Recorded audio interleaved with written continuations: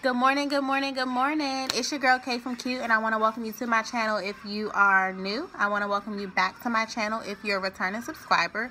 If you haven't already done so, please don't forget to like and subscribe to the channel. It lets me know to keep on going. And that's what y'all want, right? Alright, so show me that's what you want by liking and subscribing below. So, today we are going to focus on photo pendants so I received a couple questions this week regarding photo pendants and I want to show you which technique I use. There are multiple techniques out there. I've tried a few of them. Um, I've tried the Dimensional Magic, not my thing. I've tried Diamond Glaze, not my thing. And I've tried, I don't think I have the glue right here, but I've tried the E6 is it 100 or 1000 the e6 glue. You know what i'm talking about. And that one's not bad. It just takes forever to dry.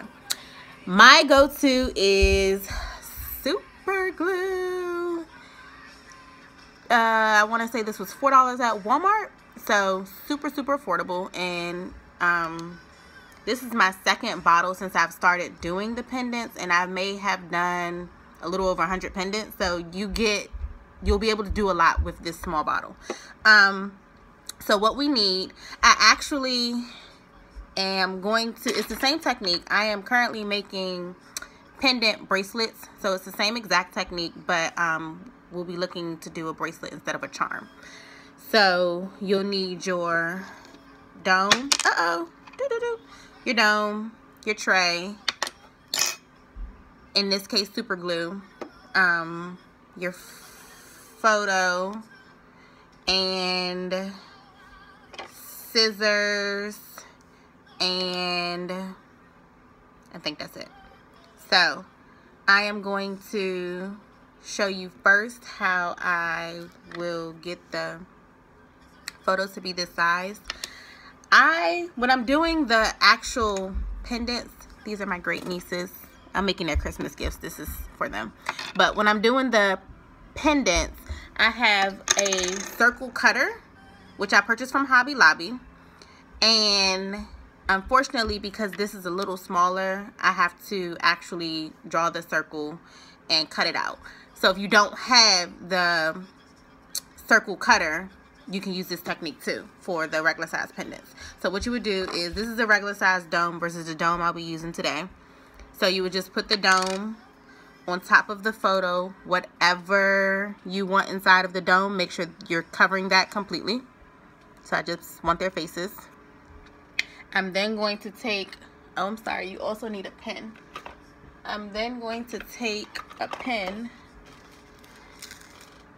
a pen and draw a circle within the picture unfortunately I am on my iPad, so I can't let you all see this part, but I'll show you in a minute. But it's super simple. You're literally just drawing the... Sorry for the interruption. I had a phone call. So, like I was saying, you would outline the... Uh, you can't really see it. Oops. But basically, I drew an outline of the dome on the picture. You're to take your scissors that I said we needed to cut the circle.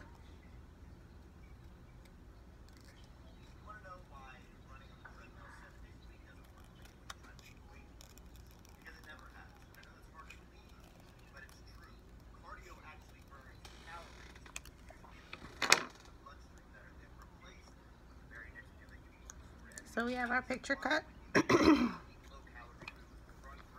you are going to place a dot. All you need is a dot of super glue for the tray part.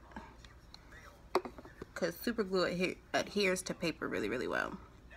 So place it in the right position because once you put this on it's super glue. There's no turning back okay? So put that in there. Boom boom boom boom and then you want to put another because this is small you want to put another they won't let me be great i've never had this many calls during a youtube video i won't say many it's only been two but anyways i'm back again.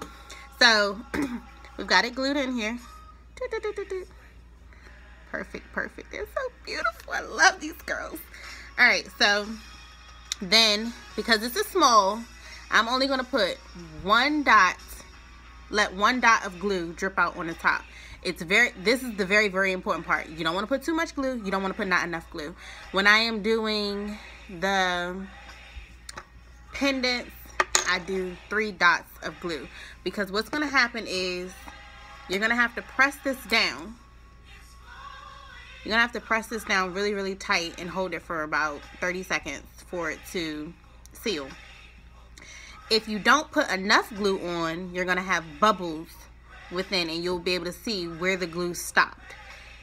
If you put too much glue on, it's going to gooze out and be on top of the dome. That is ugly. We don't want to do that. So I'm actually going to grab a new dome because at this point that one has a lot of fingerprints on it. You don't want to do that either because you're going to be able to see that.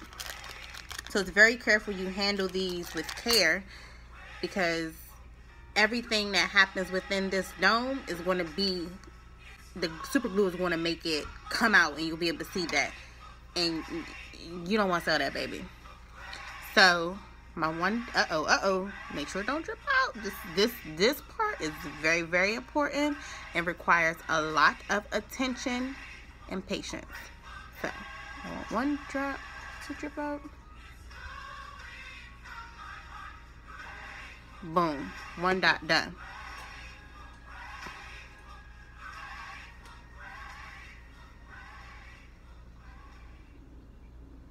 Put it on.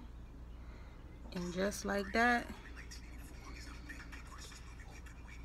you weren't able to see it, but the glue, once I pressed it down, the glue spread, which is what we want, to cover the entire picture so that it'll all seal together. But remember, if you put too much glue, once it's spread, it'll start to goose out because you're applying pressure on this dome. You don't want that.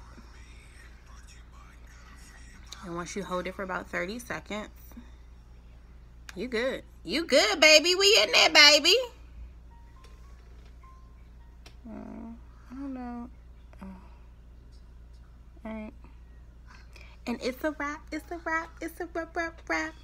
They're gonna love these. I had already did one, so it's gonna be two. I love my babies. All right, so that is that.